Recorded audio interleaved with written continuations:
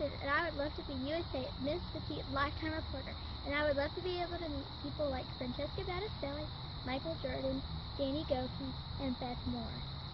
Thank you.